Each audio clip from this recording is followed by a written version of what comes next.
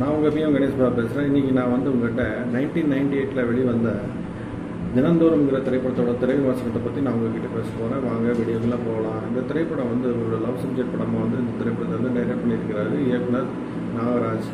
Produce பண்ணியிருக்காங்க லாவண்யாங்கிறவங்க அதோட நம்ம இசையமைப்பை வந்து ஓவியம் பண்ணியிருக்கிறாங்கள இந்த படத்தில் ஹீரோ வந்து முரளி நடிச்சிருக்கிறாரு. அவங்களுக்கு ஜோடியாக வந்து சிவலட்சுமி நடிச்சிருந்தாங்க. அதாவது முரளியுடைய கேரக்டர் பேர் ஆதீனம் அதாவது சிவலட்சுமியுடைய கேரக்டர் வந்து பூமாவும்னு அந்த திரைப்படத்தில் வந்து நடிச்சிருக்கிறாங்க.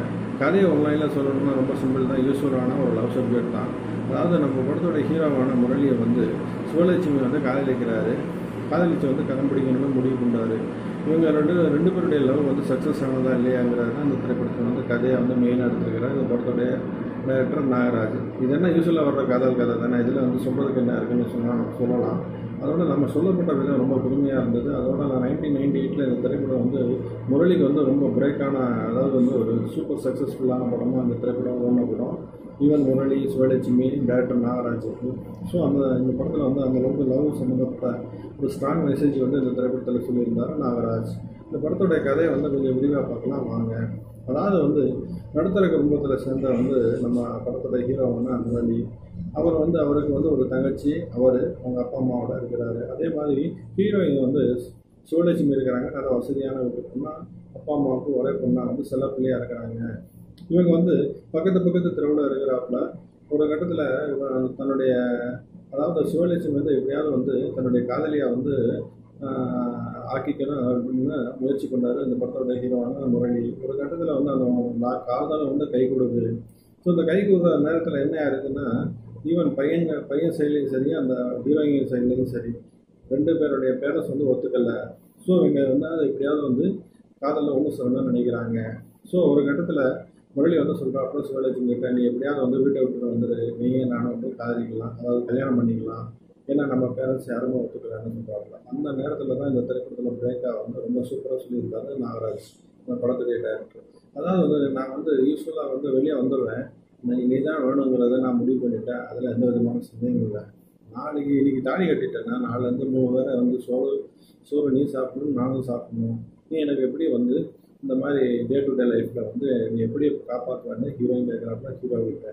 ஹீரோ நம்ம படத்தோட ஹீரோவான முரளி வந்து ஒரு நல்ல படித்து ஒரு கிராஜுவேட்டான ஒருத்தர் வேலை கிடைக்குன்னு சொல்லி காத்துட்டு இருக்கிறாரு. அவருடைய அப்பா அவருக்கு வந்து நான் பையன் வந்து படிக்க வச்சுட்டேன் ஆனால் வேலைக்கு போகல அவனுக்கு வேலை கிடைக்கல.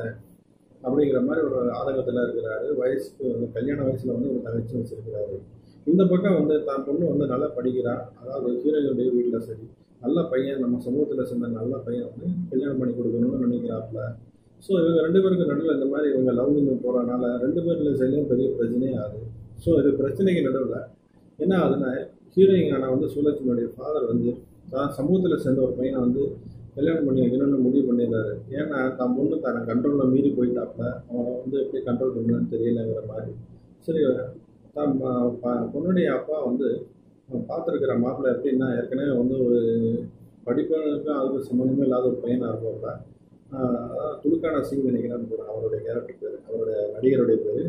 அவரை தான் வந்து ரொம்ப செமையாக பண்ணியிருப்பாரு திரைப்படத்தில். அதாவது வந்து கல்யாணத்துக்கு முன்னாடியே வந்து ரெண்டு மூணு பொண்ணுகளோட வந்து தொடர்பு வச்சிருக்கிறது. அதாவது வந்து காசு இருக்கு படிப்பு இல்லை வந்து சிம்பிளாக சொன்னோன்னா கூத்தியாக வச்சுருக்காங்கன்னு சொல்லுவாங்க. ஸோ அந்த மாதிரி ஒரு தான் நம்ம பெற்ற ஒரே ஒரு பொண்ணு அவனை போய் கட்டி கொடுக்குறாதான்னு சொல்லி ஹீரோயின் அம்மா வந்து கோவப்படுறப்ப அதாவது வந்து பொண்ணுடைய அப்பா கிட்ட. ஸோ ஒரு கட்டத்தில் என்ன ஆகுதுன்னா தன்னுடைய காதலுக்கு வந்து இவன் தான் வில்லனாக இருக்கணும்னு முரளி தெரிஞ்சுக்கிறாங்க. இவங்க ரெண்டு பேரும் சண்டை போடுறாங்க. ஸோ பொண்ணு வந்து அதாவது சுயலட்சுமி வந்து சொல்லிடுறாப்புல எப்படியாவது வந்து நீ வேலையோட வா விளையாட வந்தானா நான் ரெடி என் வீட்டில் வந்து என்ன சொன்னாலும் சரி அதே மீறி நான் உங்களை கல்யாணம் பண்ணிக்கிறேன்னு சொல்லிட்டு. ஒரு கட்டத்தில் இவர் என்ன பண்ணுறாருன்னா அரசு அந்த அவருடைய தொ அவங்களுடைய தொகுதி எம்எல்ஏவான அரசியல் வீட்டுக்கிட்ட போய் தன்னுடைய நான் படிச்சிருக்கேன் எனக்கு வேலை கொடுக்கணும் அப்படின்னு சொல்லிட்டு அவர்கிட்ட சிபாரிசு பண்ணி போகிறாரு அவர் வந்து ப்ராமிஸ் பண்ணுறாப்புல அந்த கேரமா அந்த அரசியல்வாதி வந்து இந்த திரைப்படத்தில் மணிவண்ணன் பண்ணியிருப்பாப்புல ரொம்ப சூப்பராக பண்ணியிருப்பாரு.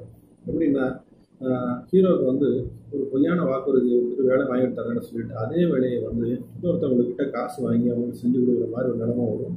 நிலமை வரப்போ வந்து ஹீரோ வந்து பொங்கி எழுந்து அரசியல்வாதி வந்து அடிக்க போயிடுவாப்புல மணிவண்ணனை ஸோ அப்போ மணிவண்ணன் சொல்லுவாப்புல ஏன்பா இந்த மாதிரி ஆளுங்களை வந்து பொதுமக்கள் வந்து ஓட்டு போடுறதுக்கு முன்னாடி ஒரு எம்எல்ஏ சட்டையெல்லாம் பிடிச்சிருந்தா தொகுதியில் எந்த பிரச்சனையும் வராதுங்கிற மாதிரி ஒரு பஞ்சு சீன்லாம் அந்த திரைப்படத்தில் இருக்குது உண்மையிலே வந்து என்ன சொல்கிறதுன்னா உன்னை வந்து வேணாம் எப்படியாவது நான் வாங்கி கொடுத்துறேங்கிற மாதிரி ஒரு முடிவு ஆகும் ஒரு கட்டத்தில் சிவலட்சுமி வந்து வீட்டை விட்டு வெளியே வர்றேன்னு சொல்கிறப்போ வந்து ஒரு டைரக்ட் பேசுவாங்கல்ல இந்த படத்தில் ஹைலைட்டான விஷயம் அதான் இந்த கா இந்த காலத்தில் வந்து படித்தவனுக்கு எதுவுமே கிடைக்காது. அது உனக்கும் சரி எனக்கும் சரி. நம்ம தான் தேடி வந்து கண்டுபிடிச்சி வேலையில் போய் ஜாயின் பண்ணணும். அம்மா நம்ம வந்து வாய்ப்புகள் வந்து தேடி வர்றது நம்ம தான் தேடி போகணுங்கிற மாதிரி சொல்லுவாங்க. அதோடு இல்லாமல் நம்ம போகிற பாதையில் வந்து எப்போவுமே வந்து நிறைய முள்ளுகள்லாம் இருக்கும். அந்த முள்ளுகளை வந்து ஒன்று மிதிச்சிட்டோ இல்லாட்டி வந்து முள் இல்லாத இடத்துல வந்து காலை வச்சு நம்ம போய் ரீச் ஆகணும்?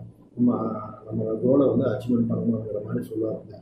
ஸோ அதனால் வந்து இந்த திரைப்படத்தில் என்ன சொல்கிறதுன்னா ரொம்ப சூப்பராக வந்து நாலு ஃப்ரெண்டுங்க வந்து வேலை படித்து முடித்து வீட்டு திண்ணையில் உட்காந்துட்டு பொழுது பூக்கிக்கிட்டு இருக்காங்க அப்படிங்கிற ஒரு சமுதாயத்தில் ஒரு பேச்சு இருக்கிறத வந்து மாற்றி இந்த பட இந்த படத்தில் வந்து இந்த மாதிரி இளைஞர்களால் வந்து ரொம்ப நல்லா சிந்திக்க முடியும்.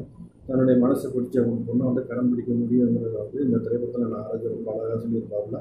உண்மையிலேயே எனக்கு பிடிச்ச படம் இந்த திரைப்படம். இந்த திரைப்படத்தை வந்து இந்த மாதிரி ஒரு படம் வந்து லவ் சப்ஜெக்டில் வந்து ஒரு புதுமையாக சொன்னதுனால அந்த காலகட்டத்தில் வந்து ரொம்ப சூப்பராக ஒன்று படம். இசை இப்போ இந்த படத்தில் ஒரு மூணு பாட்டு தான் இருக்குது அந்த மூணு பாட்டும் நல்லா இருக்கும். நான் திரும்ப திரும்ப பார்த்த இந்த படம் வந்து இந்த லாக்டவுன் வீரில் பார்க்கக்கூடிய சான்ஸ் கிடைச்சா கண்டிப்பாக பாருங்கள் ரொம்ப சூப்பராக இருக்கும். நன்றி. இந்த வீடியோ வந்து லைக் பண்ணுங்கள் ஷேர் பண்ணுங்கள் என்னுடைய சேனலை வந்து சப்ஸ்கிரைப் பண்ணுங்கள் நான் போடுற வீடியோஸ் வந்து அப்போ தான் உங்களுக்கு நோட்டிஃபிகேஷன்ஸில் இந்த இதில் உங்களுக்கு கிடைக்கும். நன்றி.